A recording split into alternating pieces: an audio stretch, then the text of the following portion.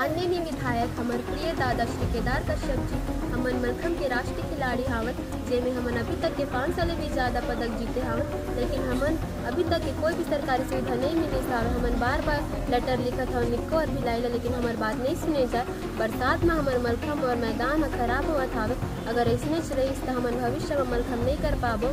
हमन जम्मू आपसे निवेदन करत हावन कि यहाँ इंडोर स्टेडियम ला बना दिए जाए और आर्थिक सहयोग किए जाए जेकर ले हमन मलखम ला अमेरिका और ओलंपिक तक ले जा सके। पिछले दिनों देश दुनिया में छत्तीसगढ़ का और अबुजमाड़ का नाम रोशन करके लौटे मलखम के खिलाड़ियों का एक सोशल मीडिया पे वायरल वीडियो धूम मचा रहा है।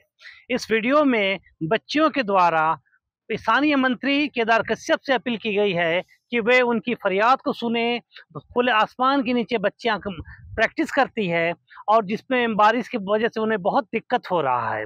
आज हम आपको बता दें कि ये जो मलखम के जो बच्चे हैं, अब अमेरिका गॉड टैलेंट में भी जाने की तैयारी कर रहे हैं। ये जो आप मेरे पीछे देख सकते हैं ये वो उनका प्रैक्टिस का जगह है। बारिश की वजह से ये पूरे देखिए काले पड़ चुके हैं, दरार आ चुका है।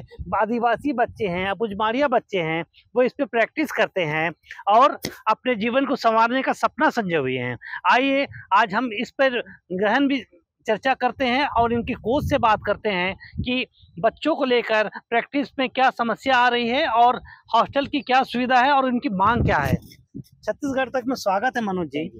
क्या स्थिति है? बच्चों की एक वीडियो वायरल हो रहा है। उसमें उन्होंने कहा है कि सुविधाएँ की कमी है। क्या है मसला? अ, देखा जाए तो हमारे यहाँ के बच्चे काफ़ी दूर तक गए हुए हैं और अ, हम लोगों का जो हमने सोचा था कि अपने छत्तीसगढ़ नारायणपुर को पूरे विश्व लेवल तक ले जाएँगे कहीं ना कहीं हम लोग उसमें सक्षम भी हुए।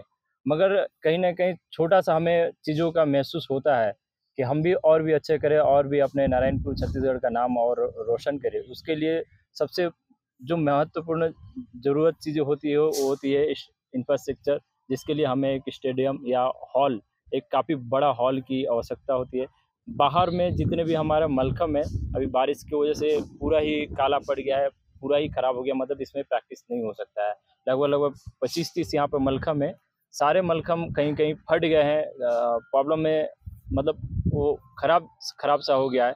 मतलब उसको फिर से ठीक करना है बहुत ज़्यादा पैसा खर्चा है और मतलब वो लगभग लगभग ख़राबी हो गया। हो सके तो हमें अगले साल उसको नए से एक्सचेंज करना होगा। और हमारे पास समय बहुत कम है कंपटीशन के लिए हो या अमेरिका गॉड टैलेंट के लिए हो। अमेरिका गॉड टैलेंट में जहाँ पे पूरे विश्व के टैलेंट आता है, जहाँ पे चैलेंज उनके साथ फाइट करना इतना आसान नहीं है।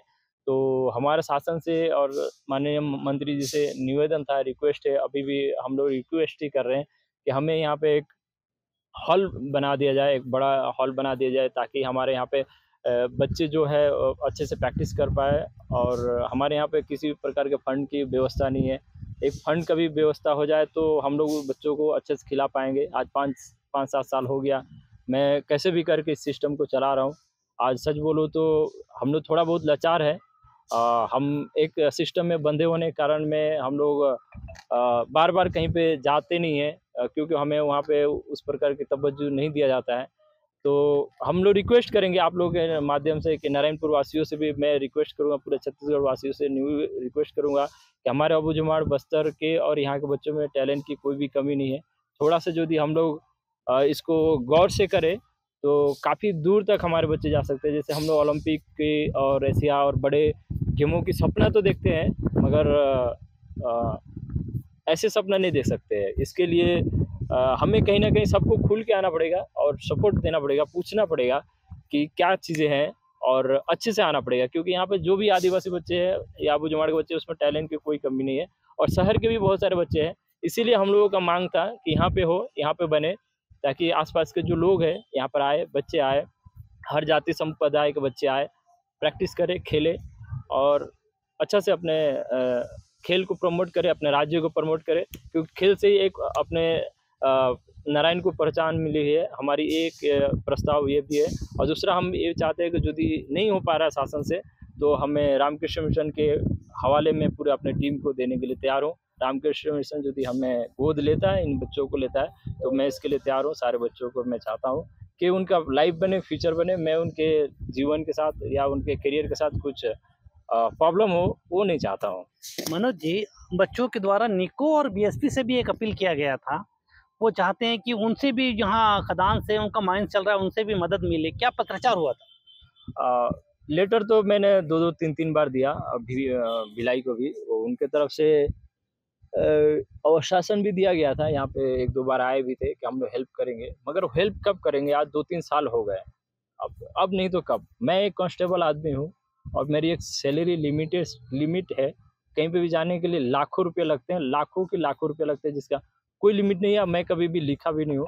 लिखूँगा तो मेरे दिमाग से बाहर चला जाएगा। इसलिए आ, हमने भिलाई को भी बोला आ, निको को भी बोला बोला कि यहाँ के उनका सीएसआर फंड है वहाँ से हेल्प आए मदद आए। मगर अभी तक कोई भी नहीं आ पाया हो सके तो मैं सही तरीके से पत्रचार नहीं कर पाया हूँ अच्छा मुझे याद है एक समय था आइए कि यहाँ पे भूपेश बघेल आए थे छत्तीसगढ़ के पूर्व मुख्यमंत्री रहे हैं और बच्चों का मलखम भी देखा तारीफ़ भी किया और डाइट की उन्होंने घोषणा भी की थी। क्या डाइट बच्चों को मिल रहा है या कितने बच्चे हैं? आ, हमारे पास अभी तक डाइट का कोई व्यवस्था नहीं हुआ।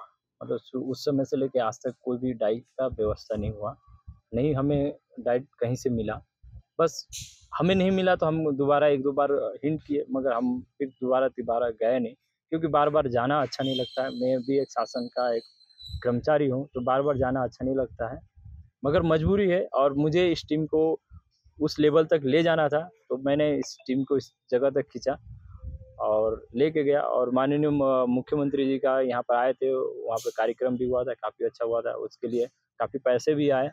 हॉस्टल भी बन रहे हैं मगर जल्दी बन जाए तो काफ़ी अच्छा रहेगा। और दो तीन साल हो गए हम जितना देरी कर रहे हैं सारे बच्चे ख़त्म हो रहे हैं ये सारे टैलेंट बर्बाद हो रहा है। तो जि, जितना जल्दी करेंगे उतना ज़्यादा बेनिफिट है नहीं तो कोई फ़ायदा नहीं है ये सब स्टेडियम हॉस्टल बना के समय समय रहते हुए बन गया तो फ़ायदा है नहीं तो कोई फ़ायदा नहीं है। ये थे मनोज प्रसाद इनका कहना है कि समय पर मदद नहीं मिलेगी तो मलखम के खिलाड़ियों का उत्साह फीका पड़ सकता है, बच्चों में, अब उजमाड़ के बच्चों में टैलेंट की कमी नहीं है, उनको दिशा देने की ज़रूरत है और वो दिशा दे रहे हैं, बावजूद इसके संसाधन की कमी बनी हुई है, सरकार